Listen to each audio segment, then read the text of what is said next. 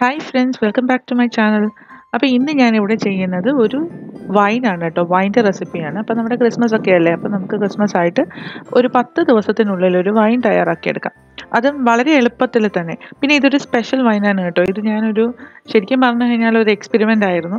പക്ഷേ അത് അപ്പോൾ നന്നായിട്ട് വന്നു. അപ്പോൾ എനിക്ക് ആ റെസിപ്പി നിങ്ങളുമായിട്ട് ഷെയർ ചെയ്യണമെന്ന് തോന്നി.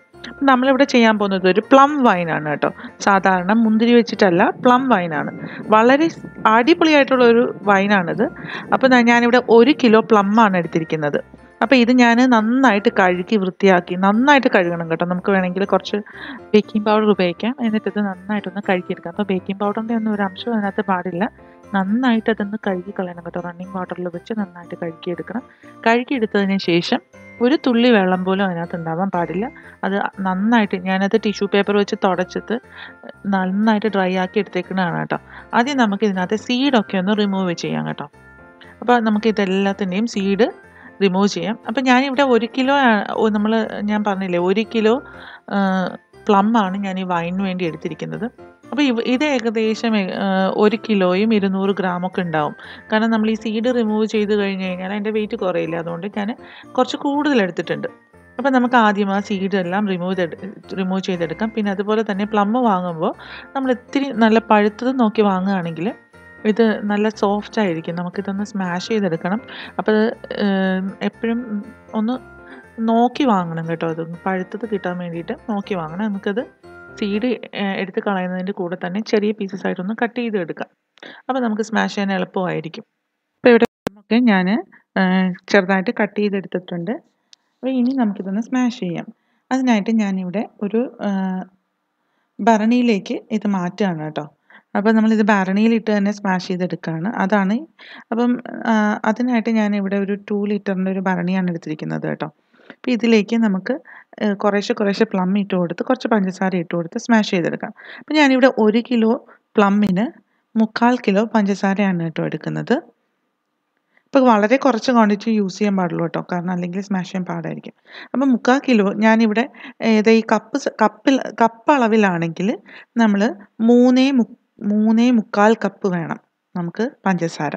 കാരണം ഒരു കപ്പ് എന്ന് പറയുന്നത് ഇരുന്നൂറ് ഗ്രാമാണ് അപ്പോൾ ഇരുന്നൂറ് മൂ അപ്പം ഇരുന്നൂറ് ഗുണം മൂന്ന് അറുന്നൂറ് ഗ്രാം. അറുന്നൂറ് ഗ്രാമും പിന്നെ ഒരു മുക്കാൽ കപ്പ് എന്ന് പറയുന്നത് നൂറ്റമ്പത് ഗ്രാം. അപ്പം മൊത്തത്തിൽ ടോട്ടൽ എഴുന്നൂറ്റമ്പത് ഗ്രാം. അങ്ങനെയാണ് നമ്മൾ എടുക്കേണ്ടത്. ഇപ്പം നമുക്കിപ്പം വെയ് മെഷീനൊന്നും ഇല്ലാത്തവർക്ക് കപ്പ് സൈസ് ഇതുപോലെ കപ്പ് ഉണ്ടെങ്കിൽ അല്ലെങ്കിൽ ഗ്ലാസ് ആണെങ്കിലും അത് ഇരുന്നൂറ് എം എല്ലിന്റെ ഗ്ലാസ് യൂസ് ചെയ്യുകയാണെങ്കിൽ നിങ്ങൾക്ക് അങ്ങനെ എടുത്താൽ മതി. അപ്പം ഞാൻ ആദ്യം ഒരു കപ്പ് അപ്പം ഈ പഞ്ചസാര എടുക്കുമ്പോൾ നമ്മൾ ലെവൽ ചെയ്ത് വേണം എടുക്കാൻ കേട്ടോ. ഹീപ്പല്ല ലെവൽ ചെയ്തെടുക്കണം. അതാണ് ഒരു കപ്പ് എന്ന് പറയുന്നത്. അപ്പം അതിൽ ഞാൻ കുറേശ്ശെ ഇട്ട് കൊടുക്കുകയാണ്. എന്നിട്ട് ഞാനിവിടെ ഒരു പൊട്ടറ്റോ സ്മാഷറാണ് യൂസ് ചെയ്യുന്നത് കേട്ടോ. ഇതൊന്ന് സ്മാഷ് ചെയ്യാനായിട്ട്.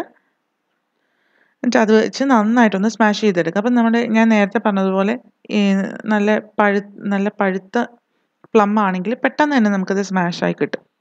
അപ്പോൾ ഇത് നിങ്ങൾക്ക് ഭയങ്കര ബുദ്ധിമുട്ടായിട്ട് തോന്നുന്നെങ്കിൽ നമുക്ക് മിക്സിയിലും ഒന്ന് കറക്കിയെടുക്കാം കേട്ടോ. ജ്യൂസ് ആകരുതെന്നേ ഉള്ളൂ. ജസ്റ്റ് ഒന്ന് അടിച്ചൊന്ന് ഒന്ന് ചതച്ചെടുക്കാവുന്നേ ഉള്ളൂ. പക്ഷേ ഞാൻ പ്രത്യേകം പറയേണ്ട കാര്യം എന്ന് പറഞ്ഞു കഴിഞ്ഞാൽ ഈ എന്ത് സാധനമായിരുന്നാലും നമ്മൾ വൈൻ ഉണ്ടാക്കുന്ന ഇപ്പം ഇവിടെ ഭരണി ആയാലും എന്തായാലും നമ്മളത് നന്നായിട്ട് തിളച്ച വെള്ളത്തിൽ കഴുകി ശേഷം നന്നായിട്ട് ഉണക്കിയെടുക്കണം. സ്റ്റെറിലൈസ്ഡ് ആയിരിക്കണം. അതുപോലെ തന്നെ ഇപ്പം മിക്സി എടുക്കുകയാണെങ്കിൽ മിക്സിയും സ്റ്റെറിലൈസ് ചെയ്ത് തന്നെ എടുക്കണം കേട്ടോ. അല്ലെങ്കിൽ വൈനിരിക്കുമ്പോൾ പൂത്തു പോവും. അപ്പോൾ ഇതേ കണ്ടോ നന്നായിട്ട് സ്മാഷ് ആയിട്ടുണ്ട്.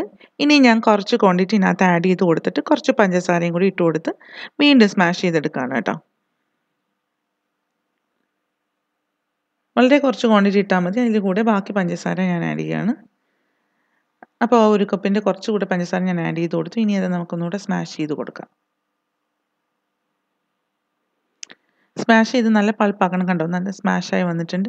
ഇനി ബാക്കി കുറേശ്ശെ കുറേശ്ശെ പംസ് ഇങ്ങനെ ഇട്ട് കൊടുത്ത് നമുക്കൊന്ന് നന്നായിട്ട് സ്മാഷ് ചെയ്തെടുക്കാം. ഇപ്പം ഞാൻ ബാക്കി പഞ്ചസാരയും കൂടി ആഡ് ചെയ്ത് കൊടുക്കുകയാണ് എന്നിട്ട് വീണ്ടും നമുക്ക് സ്മാഷ് ചെയ്യാം. അപ്പോൾ വീണ്ടും ഞാൻ ഒരു കപ്പ് പഞ്ചസാരയും കൂടി എടുത്ത് വെക്കുകയാണ് കേട്ടോ. ഞാൻ പറഞ്ഞ പോലെ ഇനി നമുക്ക് രണ്ട് കപ്പും കൂടി ആഡ് ചെയ്യാനുണ്ട്. ടോട്ടൽ മൂന്ന് കപ്പും ഒരു മുക്കാൽ കപ്പും എന്നാലേ നമുക്ക് എഴുന്നൂറ്റമ്പത് ഗ്രാം ആവുകയുള്ളൂ. അപ്പോൾ ഞാനത് വെച്ചിട്ട് ഞാൻ ഇതൊന്നുകൂടെ ഒന്ന് സ്മാഷ് ചെയ്തെടുക്കുകയാണ്. ബാക്കി ഉണ്ടായിരുന്ന എല്ലാ പ്ലമ്മും ഞാൻ സ്മാഷ് ചെയ്തെടുത്തിട്ടുണ്ട്. ഇനി നമുക്ക് ബാക്കി പഞ്ചസാര കൂടി ഇതിനകത്തേക്ക് ആഡ് ചെയ്തെടുക്കാം കേട്ടോ. അപ്പം നമുക്കിതൊന്ന് മിക്സ് ചെയ്തതിന് ശേഷം കണ്ടില്ലേ? നല്ലതുപോലെ എല്ലാം നല്ല നല്ല പ്യൂരി ആയിട്ടുണ്ട്. ഇനി അതിലേക്ക് ഞാൻ ബാക്കിയുള്ള പഞ്ചസാര കൂടി ആഡ് ചെയ്ത് കൊടുക്കുകയാണ് കേട്ടോ. അപ്പോൾ പഞ്ചസാര ആഡ് ചെയ്ത് കൊടുത്തതിന് ശേഷം നമ്മൾ നന്നായിട്ടൊന്ന് മിക്സ് ചെയ്ത് കൊടുക്കണം. അപ്പോൾ ഞാൻ ഇനി നമുക്ക് രണ്ട് കപ്പും ഒരു മുക്കാൽ കപ്പും പഞ്ചസാര ആഡ് ചെയ്ത് കൊടുക്കാം.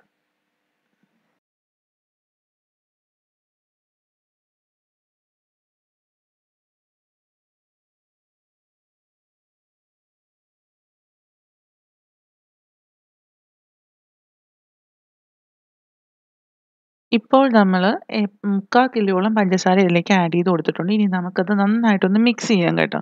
അപ്പോൾ ഇതാണ് അതിന്റെ ഒരു കണക്കെന്ന് പറയുന്നത്. നമുക്ക് പ്ലമ്മിൽ സാധാരണയായിട്ട് കുറച്ച് മധുരം ഉള്ളത് കൊണ്ടാണ് നമ്മൾ മുക്കാൽ കിലോ പഞ്ചസാര ആഡ് ചെയ്ത് കൊടുക്കുന്നത്. സാധാരണ നമ്മൾ മുന്തിരി വൈനൊക്കെ ഉണ്ടാക്കുമ്പോൾ ഒരു കിലോ മുന്തിരിക്ക് ഒരു കിലോ പഞ്ചസാര അങ്ങനെ ഒരു കണക്കിലാണ് നമ്മൾ ആഡ് ചെയ്ത് കൊടുക്കുന്നത്.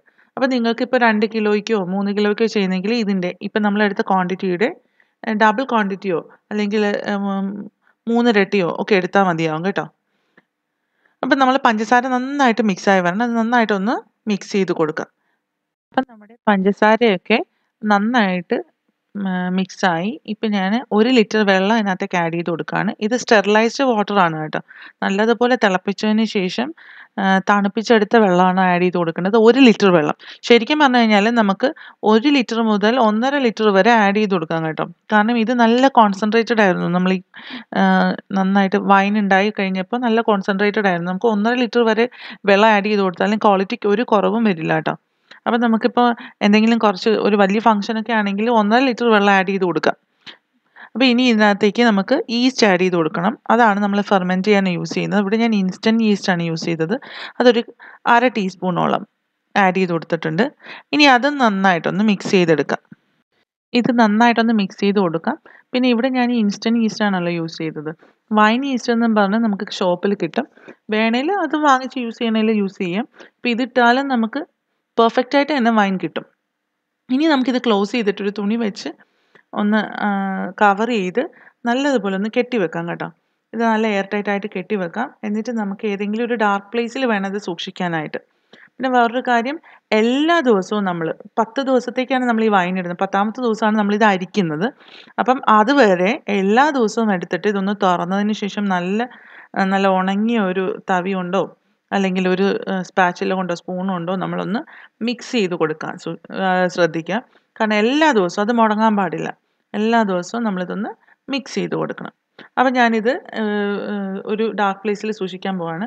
അപ്പോൾ ഇനി നമുക്ക് ഞാൻ ഇടയ്ക്ക് എന്താ ചെയ്യണമെന്ന് കാണിച്ചു തരാം. അപ്പോൾ ഇത് അഞ്ചാമത്തെ ദിവസമാണ് കേട്ടോ. അഞ്ചാമത്തെ ദിവസം ഞാനിതൊന്ന് തുറന്ന് എങ്ങനെയാണ് ഞാൻ ചെയ്തെന്ന് കാണിച്ചു തരാം. അപ്പോൾ ഇതൊന്ന് ജസ്റ്റ് തുറന്ന് തുറന്നുമില്ല ആ തവി വെച്ച് ഒന്ന് ഇളക്കി കൊടുക്കുക. അപ്പോൾ ഞാൻ പറഞ്ഞതുപോലെ അത് നല്ല ഉണങ്ങിയ നല്ല ഡ്രൈ ആയിട്ടുള്ള സ്പൂണായിരിക്കണം ഇത്രയേ ഉള്ളൂ. ജസ്റ്റ് ഒന്ന് മിക്സ് ചെയ്താൽ മതി. ഇപ്പം തന്നെ നല്ല മണമായിരുന്നു കേട്ടോ. ഈ അഞ്ചാമത്തെ ദിവസം തന്നെ നല്ല മണമായിരുന്നു. ഏകദേശം അഞ്ച് അഞ്ച് ദിവസമൊക്കെ ആകുമ്പോൾ തന്നെ നല്ല വൈനാവും എന്നാലും നമ്മുടെ ആ ഒരു ക്വാളിറ്റി കറക്റ്റ് ക്വാളിറ്റി കിട്ടാൻ വേണ്ടിയിട്ട് നമുക്കൊരു പത്ത് ദിവസം ഇത് വെച്ചേക്കാം. ഇനി അത് നമുക്ക് ക്ലോസ് ചെയ്തിട്ട് വീണ്ടും ഒന്ന് ആ തുണിയിട്ട് തന്നെ കെട്ടി വെച്ചിട്ട് പഴയ പ്ലേസിൽ ഡാർക്ക് പ്ലേസിലൊന്ന് തന്നെ സൂക്ഷിക്കാം. ഇതുപോലെ നമ്മൾ പത്ത് ദിവസവും ചെയ്യണം കേട്ടോ. എല്ലാ ദിവസവും നമ്മൾ ഇതുപോലെ ചെയ്യണം. ഞാനൊരു എക്സാമ്പിൾ കാണിച്ചു തന്നേ ഉള്ളൂ. ഇതുപോലെ കെട്ടിയതിന് ശേഷം വീണ്ടും നമുക്ക് അത് വെക്കാം.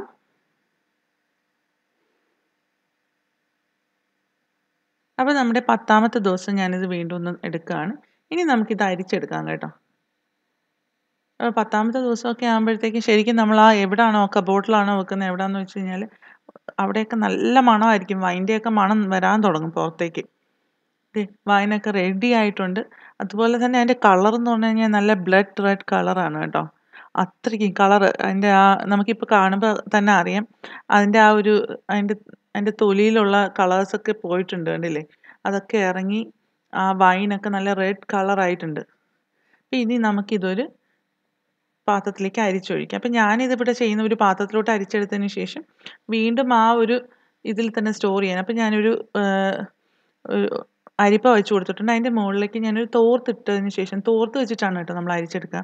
കാരണം തീരെ അതിന്റെ ഒരു പൊടിയും അവശേഷിക്കാത്ത രീതിയിൽ വേണം നമ്മളിത് അരിച്ചെടുക്കാനായിട്ട്. തോർത്ത് വെച്ചിട്ട് നമുക്കിതിനകത്തേക്ക് ഒഴിച്ചത് കുറേശ്ശെ കുറേശ്ശെ അരിച്ചെടുക്കാം.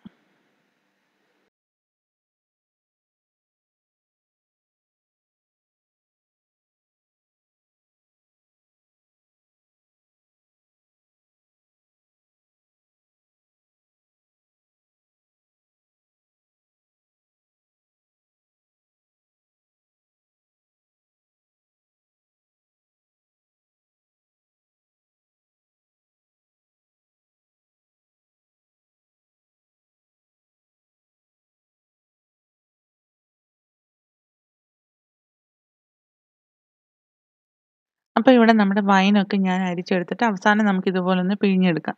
അപ്പോൾ അതെ നമുക്ക് ഇത്രയും ക്വാണ്ടിറ്റിയാണ് വൈൻ കിട്ടിയിരിക്കുന്നത് ഏകദേശം ഒരു രണ്ട് രണ്ട് ലിറ്ററിനോട് അടുപ്പിച്ച് നമുക്ക് കിട്ടിയിട്ടുണ്ട്. അപ്പോൾ ഞാൻ പറഞ്ഞതുപോലെ ഒന്നര ലിറ്റർ വെള്ളം ഒഴിക്കുകയാണെങ്കിൽ നമുക്ക് ഇതിൽ കൂടുതൽ ക്വാണ്ടിറ്റി കിട്ടും. അപ്പോൾ ഇതേ കണ്ടില്ലേ നല്ല റെഡ് കളറുള്ള വൈനാണ് കേട്ടോ. ടേസ്റ്റ് ഒരു രക്ഷയില്ലാത്ത ടേസ്റ്റ് ആയിരുന്നു. വളരെ പെർഫെക്റ്റ് വൈനാണ് നമുക്ക് കിട്ടിയത്. അതുപോലെ തന്നെ ഇത് വളരെ ഹെൽത്തിയുമാണ് നമ്മൾ വീട്ടിലുണ്ടാക്കിയെടുക്കുന്നില്ല. ഇത് ഇത്രയും ക്വാണ്ടിറ്റിയാണ് നമുക്ക് കിട്ടിയേക്കുന്നത്. അപ്പോൾ ഇത് ഞാൻ ബാക്കിയുള്ള വൈന് ആ സെയിം ഭരണിക്കകത്ത് തന്നെ ഒഴിച്ചിട്ട് ഇതുപോലെ ക്ലോസ് ചെയ്ത് ഞാനൊരു ഡാർക്ക് പ്ലേസിൽ വെക്കുകയാണ് ഇരിക്കുന്നതോറും ഇതിന് വീര്യം കൂടിക്കൊണ്ടിരിക്കുകയും ചെയ്യും. അപ്പോൾ വളരെ ടേസ്റ്റി ആയിട്ടുള്ളൊരു വൈനാണ് എല്ലാവരും ഇതൊന്ന് ട്രൈ ചെയ്ത് നോക്കണം. ഇനി ടൈമുണ്ട് ഇപ്പോൾ നമ്മൾ ഇപ്പോൾ നമുക്ക് എട്ടാം തീയതി ആയിട്ടേ ഉള്ളൂ. ഇനി പത്ത് ദിവസം കൊണ്ട് നമുക്ക് വളരെ എളുപ്പത്തിൽ ഇത് തയ്യാറാക്കി എടുക്കാനും പറ്റും. അപ്പം എല്ലാവരും ഇത് ചെയ്ത് നോക്കണം. ട്രൈ ചെയ്ത് നോക്കിയിട്ട് എന്നെ ഫീഡ്ബാക്ക് അറിയിക്കാൻ മറക്കരുത്. നിങ്ങൾക്ക് ഇഷ്ടമായെങ്കിൽ നിങ്ങൾ എനിക്ക് മെസ്സേജ് ചെയ്യുക. പിന്നെ നിങ്ങൾ ഈ വീഡിയോ നിങ്ങളുടെ ഫ്രണ്ട്സിനും ഫാമിലിക്കും ഷെയർ ചെയ്ത് എന്നെ സപ്പോർട്ട് ചെയ്യുക. കൂടാതെ എന്റെ Facebook page Bechy's kitchen follow ചെയ്യാൻ മറക്കരുത്. പിന്നെ മറ്റൊരു നല്ല റെസിപ്പിയുമായി വരുന്നത് വരെ എല്ലാവർക്കും എന്റെ ബായ്